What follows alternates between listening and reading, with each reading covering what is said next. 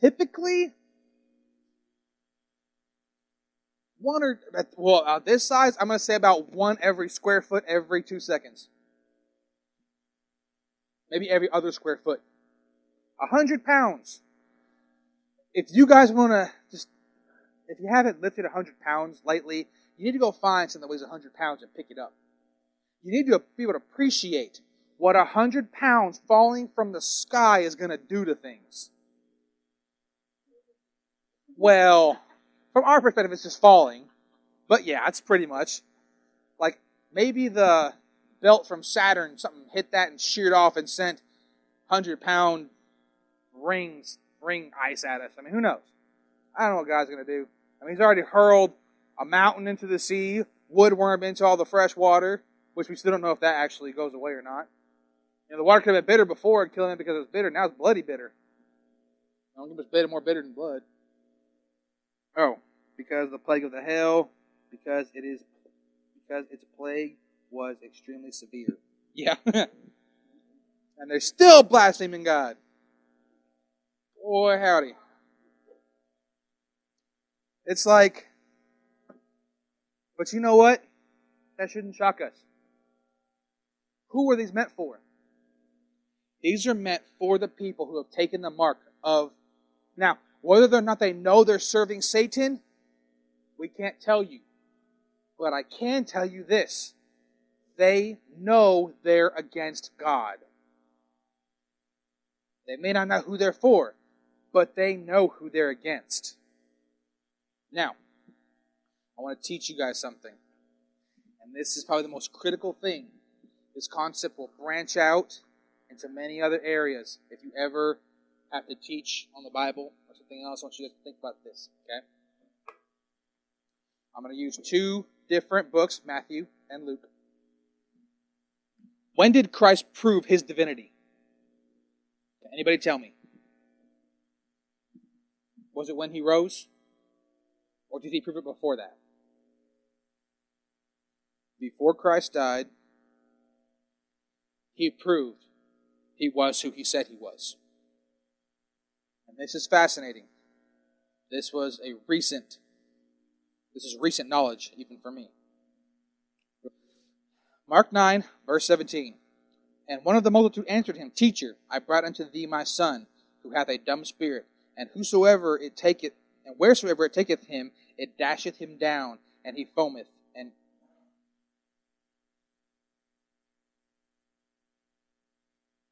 and grindeth his teeth, and pineth away. And I speak to thy disciples that they should cast it out, and they were not able. And he answered them and saith, O faithless generation, how long shall I be with you? How long shall I bear with you? Bring him unto me. Okay. Why couldn't the disciples cast out the demon?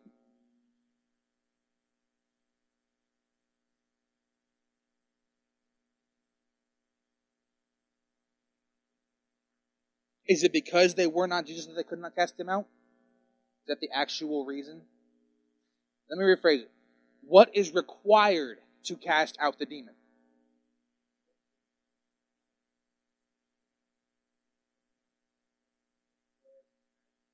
Yes. But why? Is it just the Arnold Schwarzenegger of demons? Why? And to answer the question that I know of, it is not mentioned in here in the Bible. It is alluded to, but it's not point blank said this is a requirement.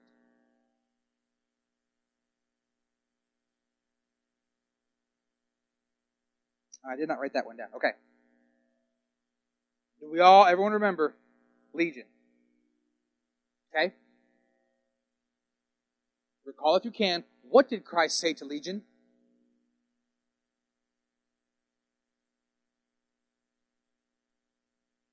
What's the first thing he said to him?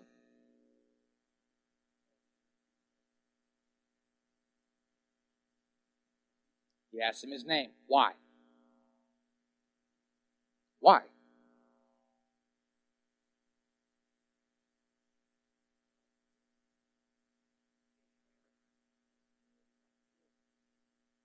being specific. In order to cast out a demon, you must know its name. Why couldn't, in Mark 9, why couldn't they cast the demon out?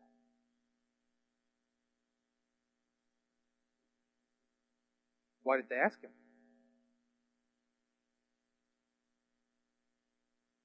Why did they ask him his name? Christ asked Legion, What's your name? We are Legion, for we are many. Why did the disciples do the same thing?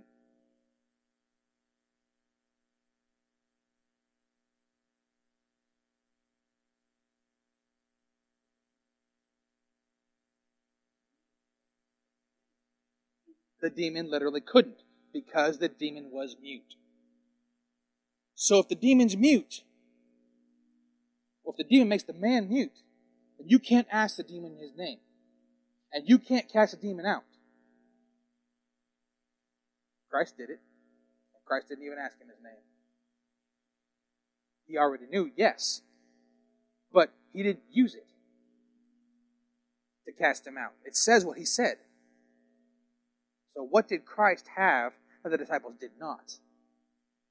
A direct line to Big Guns upstairs. Because only God can remove a demon, because God knows his name.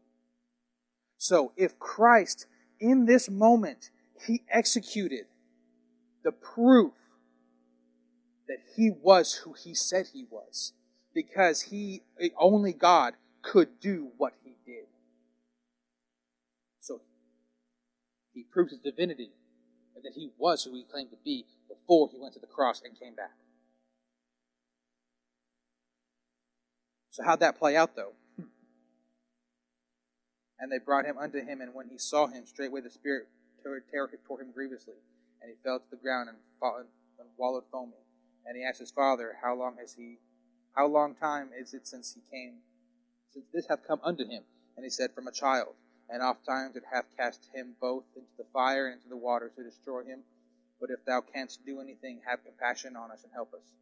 And he said unto him, If thou canst, all things are possible to him that believeth. Straightway the father of the child cried out and said, I believe, help thou mine unbelief. and when Jesus saw the multitude came running together, he rebuked the unclean spirit, saying unto him, Thou dumb and deaf spirit, I command thee, come out of him, and enter no more into him. And having cried out and tore him much, and he came out, and the boy became one as dead, insomuch that the more part said, He is dead. But Jesus took him by the hand and raised him up and he arose.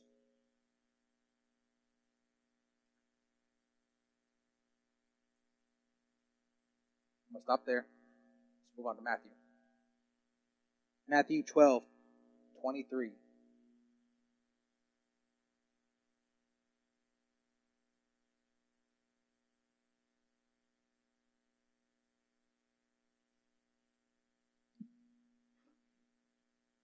Same scenario.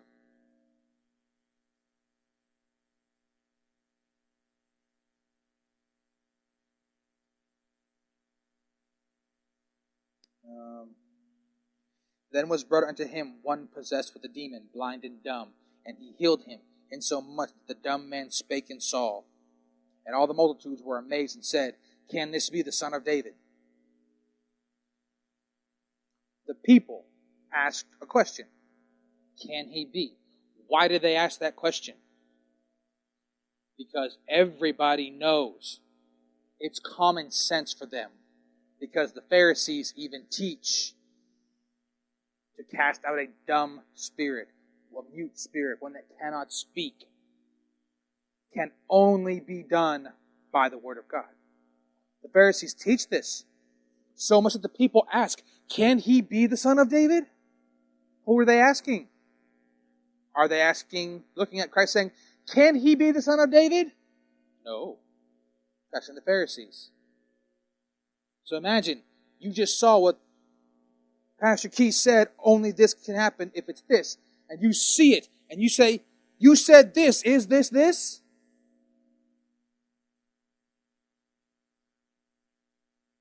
But when the Pharisees heard it, they said, This man doth not cast out demons, but by Beelzebub, the prince of the demons.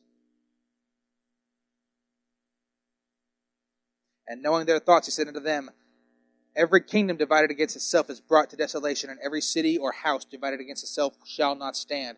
If Satan casteth out Satan, he is divided against himself. How then shall his kingdom stand? Now, I don't think I have to translate that. I think that's pretty much if I kick myself out of my house, my house goes away. So why would Satan kick out his own demons? His kingdom will fall if he does that. And if by Beelzebub cast out demons, by whom did yours? And if I by Beelzebub cast out demons, by who did your sons cast them out? That I will translate just for fun. If by Satan I cast out demons, and your sons cast out demons, who were they casting them out by? Fair question. And it also shuts them up. But it's too late. But if I, by the Spirit of God, cast out demons, then is the kingdom of God come upon you. Or how can one enter into the house of the strong man and spoil his goods, except he first bind the strong man? and then will and then he will spoil his house. He that is not with me is against me, and he that gathereth not with me scattereth. Therefore I say unto you, every sin and blasphemy shall be forgiven unto man, but the blasphemy against the Holy Spirit shall not be forgiven. And whosoever shall speak the word against the Son of Man, it shall be forgiven him. But whosoever speak against the Holy Spirit, it shall not be forgiven him, neither in this world nor in that which is to come. There's a reason I wanted to teach you guys that. Why is Satan trying to destroy the Jews?